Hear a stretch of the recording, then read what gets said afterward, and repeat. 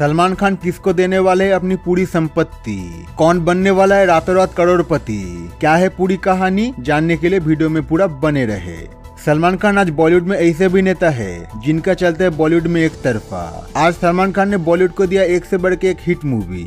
आज सलमान खान का नाम ही काफ़ी है कोई मूवी को हिट करवाने के लिए। इसीलिए सलमान को बोला जाता है बॉलीवुड का भाईजान। लेकिन सलमान की फिल्मी करियर से ज़्यादा सलमान खान की निजी ज़िंदगी हमेशा रही है चर्चे पे। सलमान खान को हमेशा बॉलीवुड की कोई ना कोई एक्ट्रेस के साथ जोड़ा गया है। उसके बावजूद सलमान खान अभी तक सिंगल और है। आज सलमान खान हो गए छप्पन के। लेकिन उसके बावजूद सलमान खान के पास अभी तक उनके संपत्ति का बारिश नहीं है। सलमान खान ने अपने ज़िंदगी में बहुत संपत्ति कमाया। आज उनके पास कोई चीज़ का कमी नहीं है। सलमान के पास वर्तमान टाइम पे 24 करोड़ का संपत्ति है और बहुत सारे महँगे कार्स और बंगलोस हाल ही में एक प्राइवेट इंटरव्यू में सलमान खान से पूछा गया, कौन बनने वाले आपका इतना संपत्ति का बारी तब सलमान खान ने दिया अपना शॉकिंग जवाब। सलमान खान बोले, मैंने तो अभी तक नहीं सोचा शादी करने का और जहाँ तक रहा मेरा संपत्ति का बात, तब ये संपत्ति मेरे बच्चों को जाएगा, यानी कि मेरे ट्रस्ट को जाएगा। मेरी पूरी संपत्ति मेरे बच्चों का भविष्य बदल देगा और यही मेरी ज़िंदगी का प्राप्ति है।